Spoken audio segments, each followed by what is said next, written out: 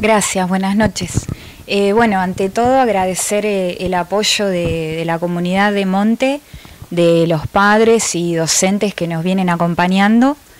Y sí, eh, lo que quiero remarcar es que nosotras lo que estamos, digamos, solicitando es que se revise esta resolución que, que la gobernadora planteó, porque eh, esto por ahí se está eh, mostrando en los medios como un tema eh, cuantitativo, quiere decir, o sea, solo reflejado a través de números, y la realidad es que es mayoritariamente un tema cualitativo, ¿no? ¿A qué me refiero? A que en las escuelas hoy en día se ven muchísimas problemáticas que necesitan eh, ser intervenidas sistemáticamente y mediante un proceso que eh, lleva un seguimiento con mucha dedicación. O sea, y esta resolución lo que, si es que se firma, nos, nos va a hacer retroceder a derechos adquiridos eh, está vigente la resolución. Sí, bueno... Eh, quieren que vuelva para atrás. Que vuelva para atrás, sí. Para explicarle en dos líneas, tenemos muy poquito tiempo a la gente, recordarles, eh, el EO es un espacio de orientación escolar, lo que conocíamos como gabinete. Y, cuál es la resolución eh, que hace que la, número, el número, si te recordás, y convierte los EOE en distrital, ¿verdad? Claro, es la resolución 1736-18, eh, que lo que hace es eh, transformar a los equipos de planta en eh, distritales. Esto quiere decir que el equipo de planta, que es el fijo de una escuela, pasaría no solo a trabajar en una escuela, sino en varias. El gobierno habla de una mala distribución. ¿Ustedes creen que no, que esto es una chique más y que va por la educación, por lo que decían tus compañeras? Sí, lamentablemente es un recorte porque, eh, digamos, lo, que esto significa, esta resolución eh, significa que no se van a crear nuevos cargos, por lo tanto no va a haber nuevos equipos, sino que se van a utilizar los equipos que ya están haciéndolos asistir a varias escuelas y no a una sola. Lo que decía María Luisa Alfano, van a, con esto precarizan los COE. Sí, totalmente. Y eh, fundamentalmente eh, se, se, están vulnerando los, los, derechos de los niños y jóvenes a, por ejemplo, en el caso de, del ausentismo, eh, distintos derechos como, bueno, no sé, falta de alimentos, de, de ropa, eh, muchas situaciones problemáticas que necesitan un seguimiento y si es, esto, digamos, se eh, sigue adelante con esta resolución, se pierde la calidad de estos seguimientos que hacemos con cada caso. ¿Cuál es tu profesión? Soy trabajadora social. Vos sabés que eh, escuchaba eh, muchas, muchas, muchos conocidos, muchas conocidas están en esa carrera y se veían eh, preocupadas porque acá en el Instituto Superior de Formación Docente se, se recibieron muchas y algunas todavía todavía aún están bollando. Mm.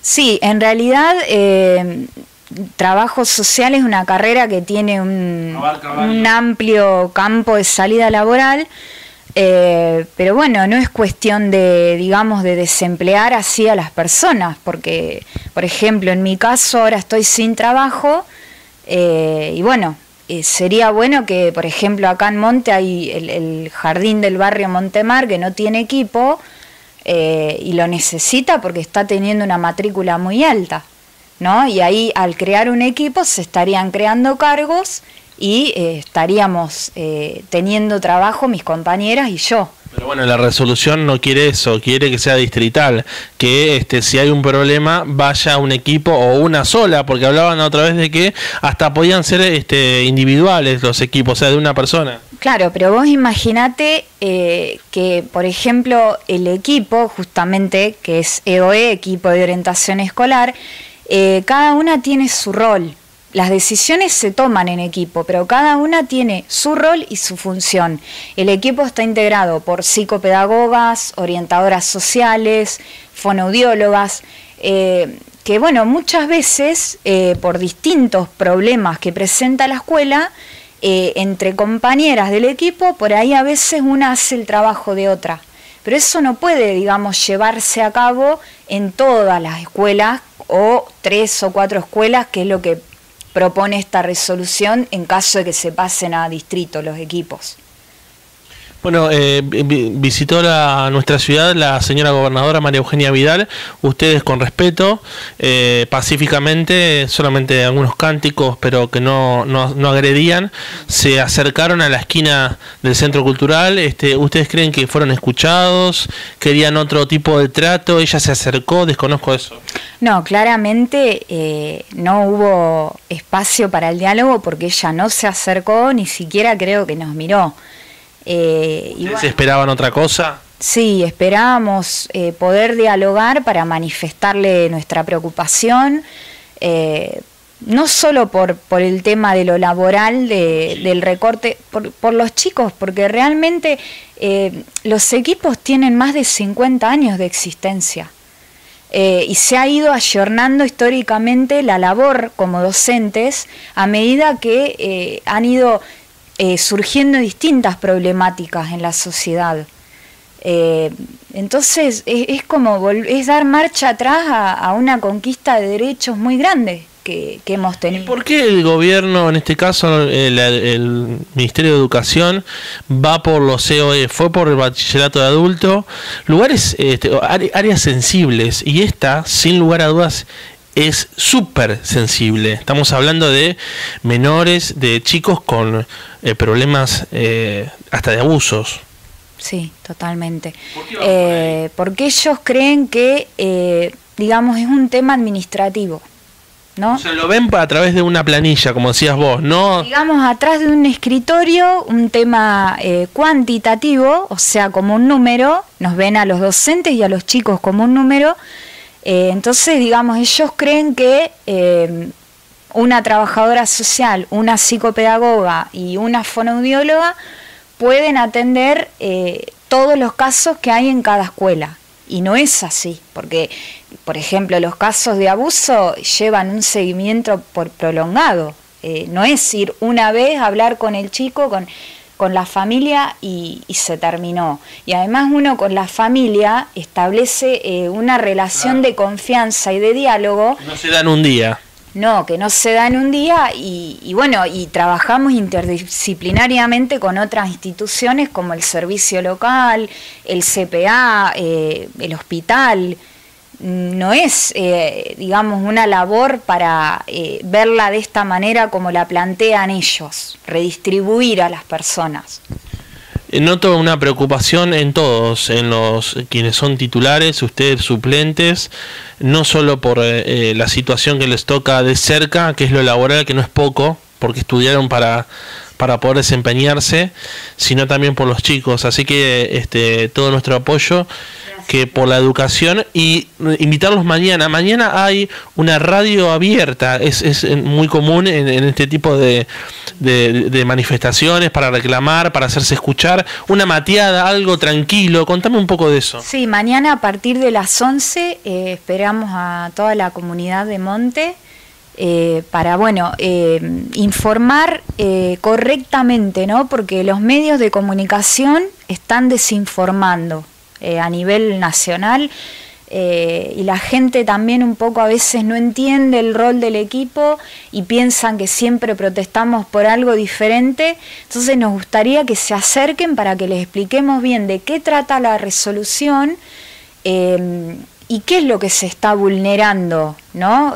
dando pie para que esto siga ocurriendo ¿no? en el sistema que ya se viene vulnerando la educación hace bastante tiempo, ¿no? Sé que se unieron varios gremios, los acompañan, bueno, tus compañeras están agremiadas a diferentes gremios, de parte de los directivos de colegios también, sé que reciben el apoyo, de parte de la docencia general, eh, del maestro de primaria, secundaria también, o sea, están, están unidos.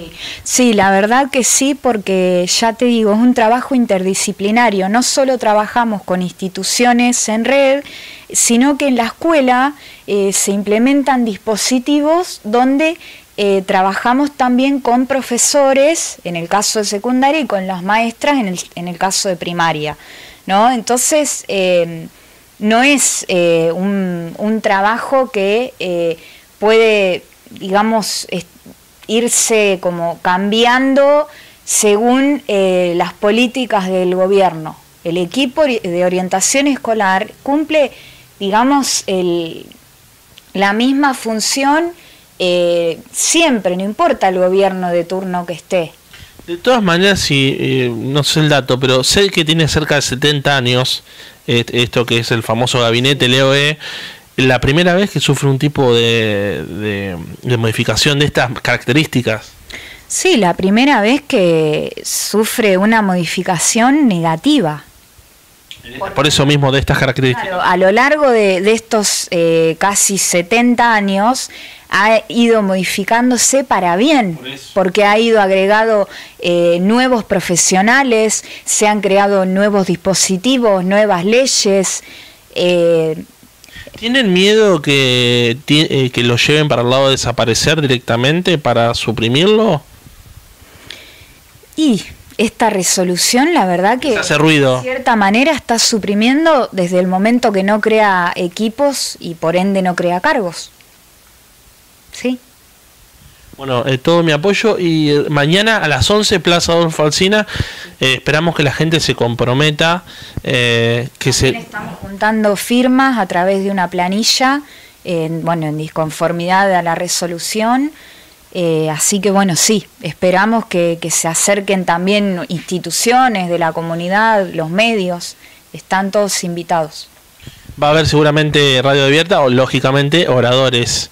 Eh, ya están, van a hablar todos. ¿Cómo se van a organizar con eso?